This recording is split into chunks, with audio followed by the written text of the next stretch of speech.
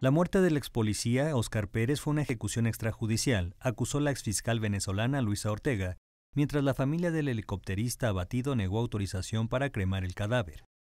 ¿Qué más evidencia quiere la ONU y la Corte Penal Internacional que el testimonio del inspector Oscar Pérez manifestando su rendición y pidiendo salvar la vida de los presentes, el cual culminó con una ejecución extrajudicial vista por el mundo entero?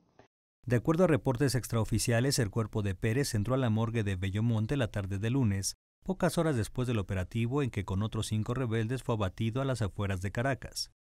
La muerte de quien atacó el 27 de junio desde un helicóptero instalaciones del Ministerio del Interior y luego del Tribunal Superior de Justicia fue confirmada 24 horas después. En diciembre el grupo tomó una unidad de la Guardia Nacional para hacerse de armas y municiones, lo que mereció la orden del presidente venezolano Nicolás Maduro para dar plomo a los rebeldes y que fueran tratados con tolerancia cero. Notimex.